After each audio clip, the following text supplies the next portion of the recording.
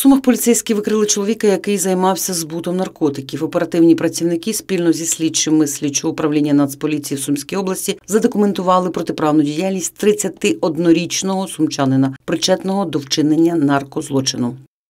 Під час обшуку за місцем його проживання було виявлено наркотичний засіб канабіс вагою близько 6 кілограмів. Правоохоронці встановили, що зловмисник зберігав наркотики з метою збуту за схемою із рук в руки. Чоловіка затримано в порядку статті 208 Кримінального процесуального кодексу України.